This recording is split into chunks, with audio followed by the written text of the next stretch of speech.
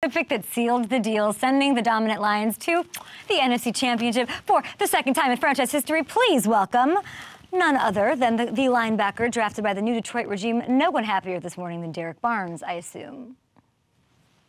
Not at all. Derrick, when's the last time you slept? You had this game yesterday. I can't imagine. You also, I believe, have like a very fresh baby. Yes, uh, he was actually a handful last night after the game. I kind of, you know, you, I had to enjoy it in the locker room because I know when I got home I was going to be on dad duty. Uh, he was. It, it's weird because like when I sleep in a room, you know, obviously we're in the playoffs and the wife lets me go to the other room and sleep through the night during the days I have practice. But but the nights I sleep in a room, it's like his worst days ever, and it's like every thirty minutes, and then I sleep in the other room, wake up next morning, and my wife's like, "Oh, he slept great. He only woke up twice or one time." I'm like, "Must be nice." Well, Derrick, it's this. This don't sleep. Like he feels this energy from you. I bet he's a, he. How could you possibly sleep with what you're radiating in that room? Yeah, he's our he's our good luck charm. Ever since we haven't lost ever since he's been born, so we're trying to keep that going. Yeah. How, how old is he? He's literally 12 days old, right? 12, 13 days Yes, he was. Yep, January 9th. Mm-hmm. The, wow, your life is 2024 is going pretty well for you. Congratulations. Thank you. Derrick. talk me through your first career interception. Oh, it was crazy. Um, it's kind of it kind of just goes back to what we've been planning all week. I remember just that only that play just in my mind. AG's voice and my uh, linebacker coach Shep was like, "We have to pack the seams." Baker Mayfield wants to throw the ball mm. down the seams, and and I was like, I was super tired. I'm rushing, and I'm like two minute drill. I'm like, oh, I was like, I got to push this last series. We got to get off the field. And I just like I'm dropped with urgency, and I just seen him bending behind me. I'm like, okay, pack the seams. Just keep going through my head, and then I turned around, I seen the ball, and it was all like slow motion to me. It was the weirdest thing ever. It reminds me when I caught my first pick in uh, college. Like it's all slow motion. You don't know what to do. Thank God it was. We call it Miller time, where if we're up and and you get a fumble or interception, you go down. So thank God I did because I could not get up a run. I was so filled with excitement. It was, it's amazing, man. It's Detroit deserved that one for sure. What's the lesson in that? Like it's crazy. Like you know, it's I can't. I, I imagine when that's happening, you're like, I can't believe that just happened. I couldn't. Like everybody, I remember somebody asked me yesterday, and it was just like everything was just a blur to me. It's like I'm I'm running and I get to the end zone and I'm holding my arms out and everybody's slapping on my head, my chest, and I'm like, and I just laid down like, what just happened? Like, what, what is this? And it was, it's, it's crazy. Uh, it's you know, if you if, if you if people on the outside understood what we went through as a team to get where we are, man, it's it's very exciting for us, and you know, we're, we're beyond blessed and and it's just the opportunity that comes and the fact that we can continue to you know do that the week in and week out is just amazing. Derrick, Derrick what are some of the things that you went through?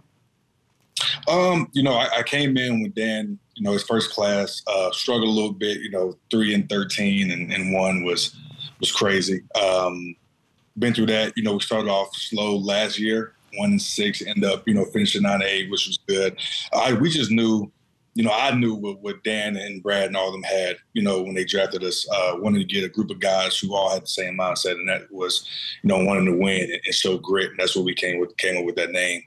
Uh, and just the group of guys we added to to our team, mm. it's been amazing, just a journey, and you know the you know, outsiders and a lot of people didn't believe in us. And uh, we all we knew inside our building our organization that you know we were we knew we were about and we knew our identity was, and we just kept the ball rolling. And and it's amazing to come in week in and week out and seeing the guys work and and strive to be better each and every week. As you sit here now, 2024, and you look, you think back to 2020. Now you're a dad. Now you made this big play.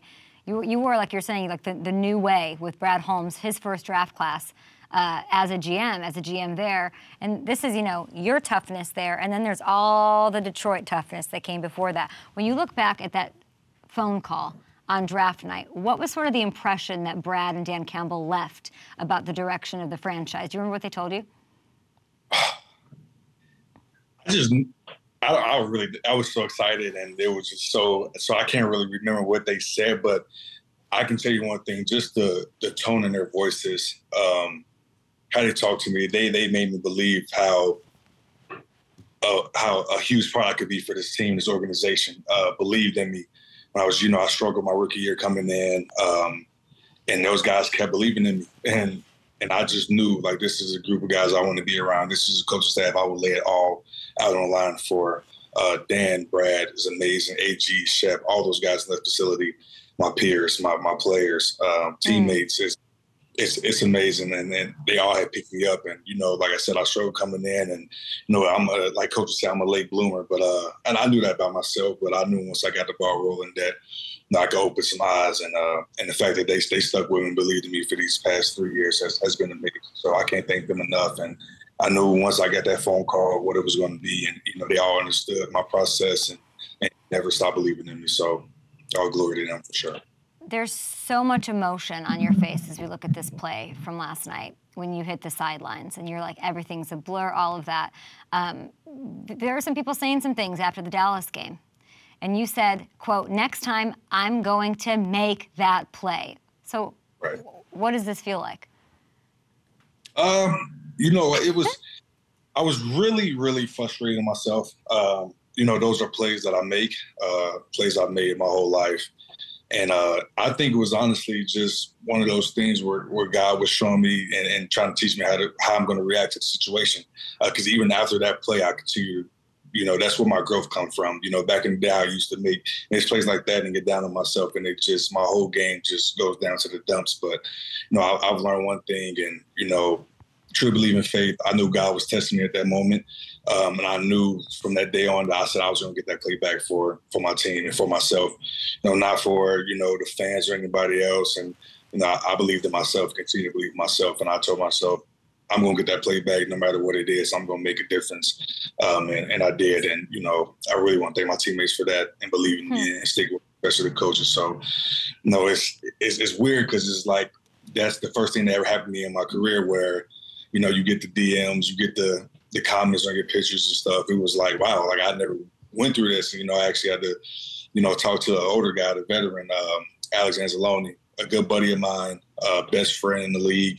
He was like, man, that's how the game goes, man. Yeah. So you got that noise out, and and I, I tried for, for, so long, and I did, um, and but it was all on my mind up to this week. You know, I'm, I'm gonna make something that, that that makes me feel proud about myself, and not nobody else. I'm doing it for myself for sure. My teammates and organization. It's impossible to not root for. It's amazing. And you're mentioning your teammates and you and Aidan Hutchinson. I saw in the post game with Kaylee, and he could not have been more like like proud of you, happy for you after that pick. He was like beaming ear to ear. He was at the locker room telling reporters about the moment, how how it made him feel. What's your relationship like with him, and what makes this defense so special? Oh man, uh, Aidan is a guy. He reminds me of a guy I played with in college. Always willing to work, always willing to get better. Wants to do everything right. You know, I look over to him in um, in the game during the game days, Sundays. He's over there studying, make sure he has all his all his cues and keys ready to go. Uh, you know, he, he wants to give it his all. You know, you're talking about a Michigan Michigan native, a uh, guy that's seen the the highs and lows of Detroit Lions. Um, and this is his his state, his city, uh, and the fact that you know this means so much to him is, is amazing. Just to see the look on his face. You know, that's what that's what we do the sport for, man. For for the city, for for people you know who, who root for you and people who believe in you since day one. Yeah, uh, Aidan is is a, a great guy, and you know he he deserves all of this, and he's also a great player, man. And I'm glad that I can play beside him, behind him, next to him. It's it's it's awesome, man, and and, and he deserves this as, as long as our team for sure. Uh, I, am a little worried about like the game plan with celebrating because I don't like that you couldn't really celebrate in the locker room because you had to go home and do that. Can we get like I'll come in and be a babysitter, I'll help mom. I'll, I just feel like for this next round, if y'all go and do what you're supposed to do against the Niners, we got to figure out we got we got to figure out a little something extra, huh? Yeah, we got to got to game yeah. plan that. Right. The thing that's gonna kill me is the the five hour plane plane ride back. Yeah. So and I, I gotta get I gotta get off the plane and go straight straight to duty. You know, it's uh it's funny because you know people was like, oh, we're gonna celebrate D Barnes concert. I'm a, I'm a, I'm a husband. I'm a husband and a dad first. I'm a, I'm gonna go do that. Um, my wife, you know. I mean, you brought Trey to the game. Yes. What a rider! Yes. Like you brought your 12, 12 day old first career interception, Trey's first game, and now he is the good luck charm. So he better be traveling and making arrangements to be there. Are we right? Yeah, we they, okay. are talking. Uh, okay. My my wife is uh, with him. She's very protective protective eyes, you know, germs and all that. And it's it's a long ride. So yeah. you know, whatever they decide to do, she decided to do, I'm gonna ride with it. But uh Sounds like Sheila needs to sounds like Sheila needs to offer up the jet for our little good luck charm. Trey, Sheila That's what that's what I that's what I've been saying. Was Sheila down there was Sheila down there just, you know, having a drink, a martini, a beer? Was she down there was she down there at all or no? Just, no. I think she comes to the locker room. I didn't okay. see her on the field, but every game we win, you just see the look on her face. She's so proud of I this thought team. maybe like a crowd surf. I thought she was doing like a Jason Kelce vibe down there. Oh, you know, yeah, who knows? Yeah, we who knows? We don't get one of those going next round. Well, how are you going to yeah. do that? Because you talk about studying for Baker Mayfield so much, right? And you got you you did really prepared, and it clearly paid off. So give me the thing. What's the thing as you approach San Francisco that you're watching the that you know already you're going to watch the most tape of? We just have to be very detail sound. Uh, they have everything from a good running game, good passing game. Uh, a lot of guys to eliminate. Christian McCaffrey is great. All the receiving corps, Deebo Samuel. Um, they got a lot of weapons over there, and uh, you know, not, we we played a lot of good players, a lot of good teams. Uh, so obviously, it's going to be a challenge. It's the playoffs. Uh, it's a great team. Uh, we just have to bring our best ball and prepare well for these guys. Um, you know, obviously, you have to treat like every other game, and prepare the same, but have a little more urgency to you. Um, like I said, this is a great team we're going against. Uh, we literally talked about this day one of, you know, how can we get better in order to be able to compete with guys like Philly, guys like San Fran and uh, Baltimore, teams like that who was at the who's playing at a high level. Um, you know, I don't know what the game plan is right now, but I know that AG is going to dial some stuff up and and get us going and put us in the right position to make plays and give us a chance to win this game. Uh, super excited for this moment. Um, I know we're super excited, but like I tell everybody, we're a type of team that, that goes in and we get the win and, and we, we focus on next week come that Monday. So we're, we're super excited. Got to get back to the drawing board and, and into the film and, and, and, we can't wait to get to San Fran. Did you watch the Niners Packers game? I did. What was your takeaway other than other than you better hope that it's raining on on game right, you, right. No, uh, yeah, that was an amazing game. Green Bay is uh has really come alive. Uh, obviously, they're one of our rivals, so call it. But uh, no, I'm super proud of them guys over there. I know a few guys over there. Uh, Love is was playing outstanding. Uh, wide receivers were playing outstanding. Running backs were playing outstanding. Defense, um, no. So kudos to them. Um, they put up a really good challenge with them. Uh, like I said, you know, San Fran they held on. They have a good defense over there, good offense. So uh, mm-hmm. you expect explosive players. So you know, that's like I said, that's something we have to eliminate going into this game but yeah, no, that was an amazing game to watch. I think that both teams, you know, deserve to win, but obviously you got to come out one. Um, but no, we're excited, and, and, Green Bay definitely did their thing, and and obviously San Fran, you know, do what they do and, and finish games out. So Jared Goff ready for this? 2021, you came in with him. I'm sure you know he's he's evolved into quite a quarterback, quite a weapon. Yeah, he uh, he was born ready for this. Like a lot of, and when I first got to the league, and I and I'm kind of starstruck because I'm like these guys I used to watch coming out of high school and coming out of college and to be able to play with uh, Goff. Man, he is a he's a great leader, um, a great guy. He he blocks out the noise. He believes in himself, believes in his teammates. He picks people up when they're down. Uh, he's definitely a, a, quarterback I would want to run the ball for or catch the ball for. Derrick, uh, he's in his for. bag right now. He's Man, in his bag is. right now. I'm telling you, in his duffel, he in his go yard bag. he's in his go yard bag. go yard. Well, he's going to need it up against that defense. Listen, last one for you. Breaking news this morning. I don't even know if you've heard this yet. Brock Wright's injured, of course, and uh, your team, Mr. Holmes, just added not sleeping as well. He's got he's got a little baby too. It's the entire roster, and he signed uh, he signed All Pro tight end, Super Bowl champion, by the way, Zach Ertz. Now you faced him. Yeah, so Zach Ertz might get some time here. You faced him once during your rookie year when he was with Arizona. I know I'm just bringing this on you, but your reaction to your new teammate. Wow, actually, I'm.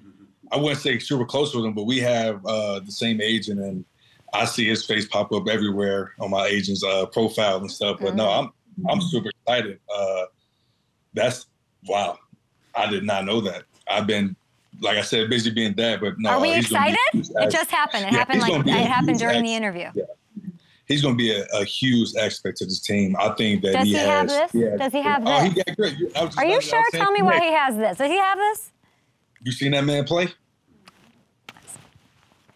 Say less. So you should, hey, Say less. so you know, yeah, no, he's. I'm, I'm excited, man. He's uh, he's gonna be huge. And he got that grit. You got to hold that up one more time for me. Woohoo! got- we gotta get we gotta get you one of these. We gotta get. Yeah, I this. gotta get- This is literally why little Trey isn't sleeping because this is the energy you bring into the house. I, I I figured it all out. I figured it all out. Listen, we could not be more excited for you. Thank you for stopping by. Embrace it. The fans. I hope that they travel, guys. Bring it to the Bay this weekend. Bring this towel. Bring baby Trey. Sheila, get the jet. Let's go.